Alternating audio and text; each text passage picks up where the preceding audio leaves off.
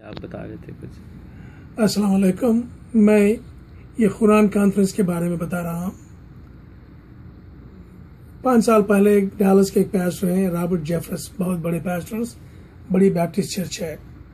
उन्होंने कह दिया अपने कांग्रेगेशन में, मुझे बोलना भी बुरा लगता है but we have to see the facts कि Quran is a book written by evil prophet और कुछ बातें बताई उन्होंने।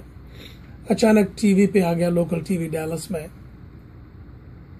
तो लोगों ने मुझे कॉल किया what are you going do about it मैंने अपने इमाम लोगों से बात की काफ़ी इमामों से बात की let's go talk to him कुछ लोगों ने कह दिया कि उससे क्या बात करेंगे?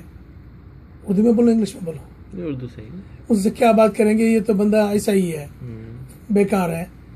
मैं बोला इसको बात नहीं करेंगे तो बात बढ़ेगी। उसको बात कम अज कम रोकना है या थामना है उसको। तो I called an African American इमाम वो साथ आए, हम गए चर्च में। फिर उसने अनाउंस कर दिया चर्च में कि there are Muslims wanting to say इज़्ज़त दी उन्होंने विच इज़ नाइस कांग्रेगेशन के बाद मैंने कहा pastor Jeffress I want to talk to you बोला I heard you what you said about Quran कि कुरान बुरी किताब है, गलत लोगों ने लिखा है। मैं समझता हूँ आपकी बात को, इसलिए कि आपने गलत चीज़ पढ़ी है। एज ए मुस्लिम मैं आपको सही कुरान ट्रांसलेशन दूँगा। आप उसको भी पढ़ें। ये जो आप बात बन रहे हैं, आपका फ़र्ज़ बनता है कि आपके कांग्रेगेशन को सच्ची बात बताएँ। आपको तहकीक करना मैं किताब देता हूँ। और दूसरी बात, आपके इसी चर्च में मैं कापीज देता हूँ कुरान की। आप जिनको भी बुलाना बुला लें, तीस दिन का तीस दिन का टाइम लें आप, फिर उसके बाद जितने भी आयत से आपको प्रॉब्लम है, बैठ के बात करते हैं। और ये चैलेंज दिया था हमने, बहुत बड़ा चैलेंज दिया था। अगर इस आयत में अगर आप पाँच गलतियाँ निकालें, कि हम दोनों मान लेते हैं पब्लिक में कि ये कुरान में बात गलत है तो मैं उसी वक्त आपका मज़हब इख्तियार कर लूँगा। मैं I'll quit Islam and become a Baptist in your church और मेरे काफ़ी लोग हैं फॉलो करने वाले। शायद वो भी आप हार्वेस्ट कर सकते हैं. That is the language they use खैर, बंदे ने माना नहीं, मैं बोला नो आई नो मुझे पता है, मैं क्या पढ़ रहा हूँ. बोला, ठीक है बट कॉन्फ्रेंस तो करनी हो.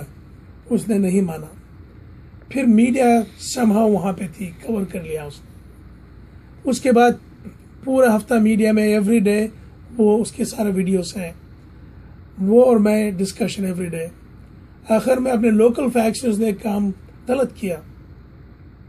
मैंने उसको चैलेंज फिर दिया पब्लिक में।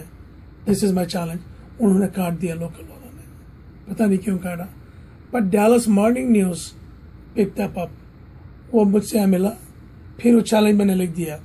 If you find five fault in Quran I will become follow your religion अगर नहीं तो मैं आपको मुसलमान बनने के लिए नहीं कह रहा हूँ। एक पीस में अगर बन जाए मेरे साथ, तुम और मैं मिलके जो दुनिया में ये फसादात हैं ये मिसअंडरस्टैंडिंग उसको दूर करेंगे। मैंने बोला, जीसस वही चाह रहे थे blessed are the peace makers let's do that work Jesus का काम करेंगे which is my prophet too खैर, नहीं हुई बात। बात और बढ़ी तो हमने सोचा कॉन्फ्रेंस करते हैं। मैंने कुरान में साठ ट्रांसलेशन जो है, गलत की है। साठ आयत को मुसलमान ने गलत ट्रांसलेशन की है। उसकी story I go back and then I come back here वो ये है कि जब अरब के बादशाह यूरोप में पहुँचे तो वो डर गए कि उनके हुकूमतों का खतरा आ गया। तो उन्होंने इंग्लैंड, फ्रांस और जर्मनी मिलके paid money to the monastery of abbey in France कि लो, इनकी किताब को गलत ट्रांसलेशन करो। किताब को गलत ट्रांसलेशन किया और उसी वक्त नाम, शायद आपने सुना होगा, नाम मोहम्मदन कहते हैं कुछ लोग मुसलमानों को। पहली बार लफ्ज मोहम्मदन इस्तेमाल किया गया। मोहम्मदन कल्ट बताया गया। कुरान में लिखा गया कि ये मोहम्मदन आके आप सबको तबाह कर देंगे। तो उन्होंने अपनी रियाया को वर्गलाया ताकि उनका साथ दें। फिर आपने देखे क्रूसेड्स हुए, काफ़ी हुए। ये इलेवन फोर्टी टू की बात है। आज भी जितने क्रिश्चियंस जूश स्कॉलर्स कुरान के हवाले से बात करते हैं। वो गलत ट्रांसलेशन के बेसिस पे होता है। फिर 800 साल सामने जाएँ 700 साल। उस्मानिया हुकूमत ख़त्म हुई। 1914 में 1918 में। उसके बाद कुछ मुसलमान जो राइट विंग मुसलमान कहता हूँ उनको लगा कि जी हम हुकूमत कर रहे थे 800 साल। अचानक हमारी हुकूमत चले गई, हमें वापस हुकूमत लाना इसको क्या करते हैं? तो उन्होंने वहीं से बुनियाद रखी, कुरान में गलत ट्रांसलेशन करने की, ताकि मुसलमान, ईसाइयों और यहूदियों से नाराज़ हों, उनसे दुश्मनी बने। कुरान की सबसे पहली चैप्टर सूर्य फातिहा, उसमें सातवीं आयत में है। इस पे मैंने दो कॉन्फ्रेंस कर चुके हैं parliament of world religions Australia में। खुदा मुझे सीधी राह पे चला, इसी राह पे नहीं, जिस तरह लोग बहके हुए या जिसमें आपका खहर नाजिल हुआ है। उसका वाक़ अरबी में है, इंग्लिश सही ट्रांसलेशन है।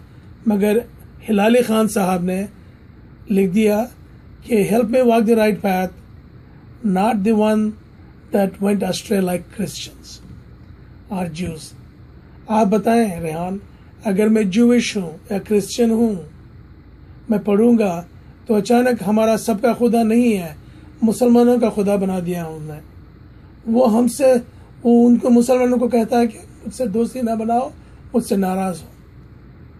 ये बहुत बड़ा कॉन्फ्रेंस की थी मैंने। उसके बाद ये बात सब काफ़ी लोगों की समझ में आ गई। फिर मैंने भी काम किया थोड़ा, काफ़ी लोगों ने काम की। वो ट्रांसलेशन अब बंद हो गया, अब ठीक हो गया है। ना going back to the Quran तो मैंने साठ आयात, मैंने सारे लोगों से पूछा ओपन मार्केट में, बताओ क्या कुरान में पसंद नहीं है आपको? सोलिसिट किया मैंने। सबने भेजा मुझे लिस्ट कि ये है in final very you find them kill them मैंने साठ इकट्ठे किए वेबसाइट पे हैं। तो मैंने स्क्रीन पे लगाया साठों को आयात और बिठाया दस लोगों को। बैप्टिस्ट सोच रहा हूँ Baptist Protestant Catholic Mormon Jewish Sikh और एक स्टेट रिप्रेजेंटेटिव इनको सब दस लोग बिठा दिया। आ, दो विमेन पैस्टर्स थे और मैंने बताया ऑडियंस से पूछा देखो साठ हैं सबको भी मैंने कापी दी थी। मेरे पास सिर्फ़ दो घंटे हैं। साठ हम नहीं कर सकते। और इसमें हम दस करेंगे।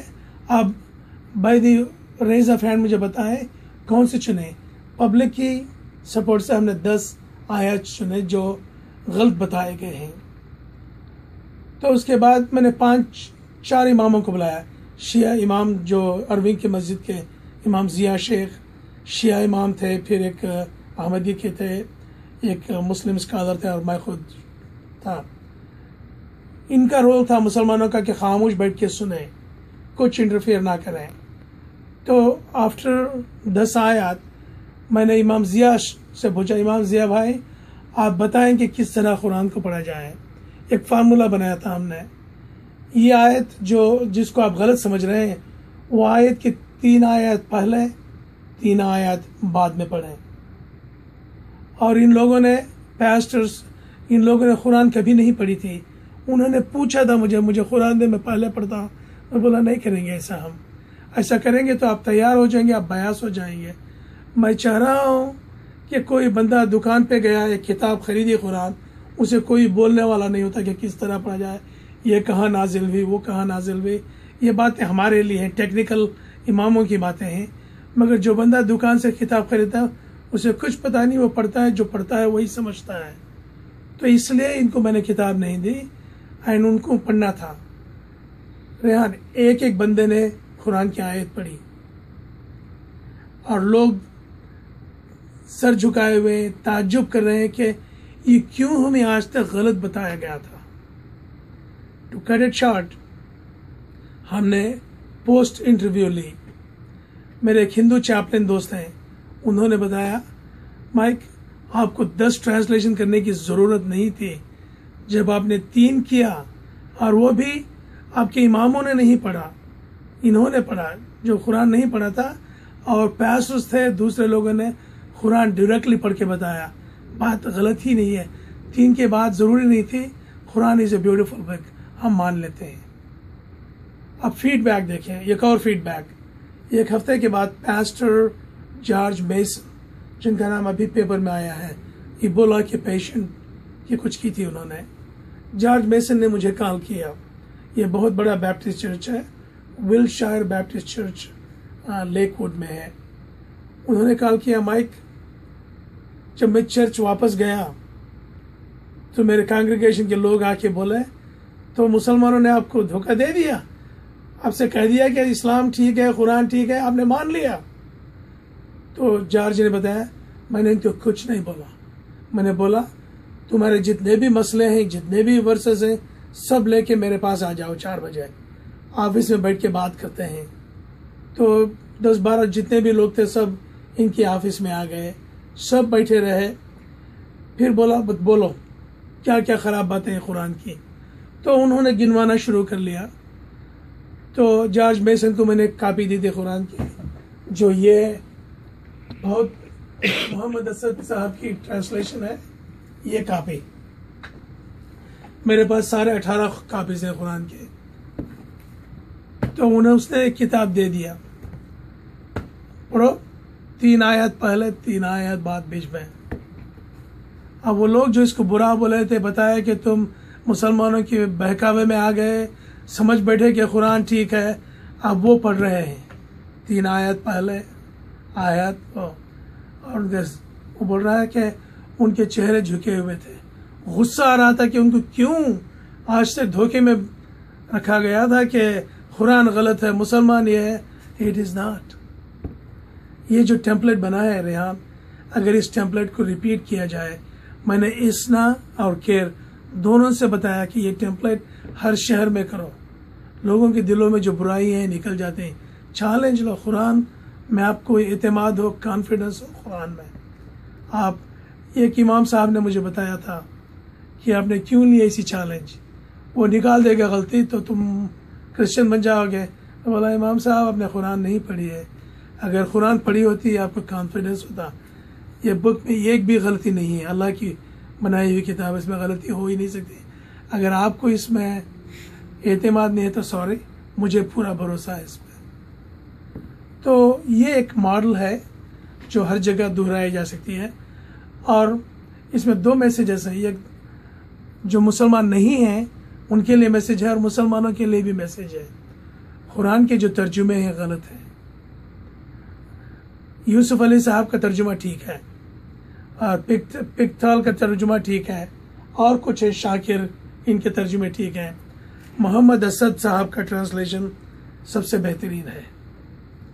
इसलिए कि इन्होंने कुरान को एक रब्बुल अल्लाह को रब्बुल आलमीन वाकई समझा है, रब्बुल मुस्लिमीन नहीं समझा।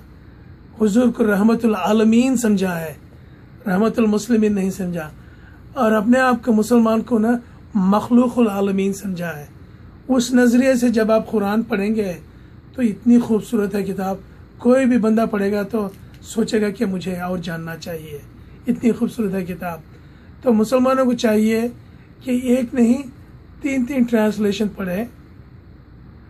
और मैं ट्रांसलेशन की बात करूँ, अरबी लोग अरबी लोग भी गलत उसका मिस इंटरप्रिटेशन किए हुए जैसे इबन कथीर साहब ने उसको मिस इंटरप्रिटेशन किया था।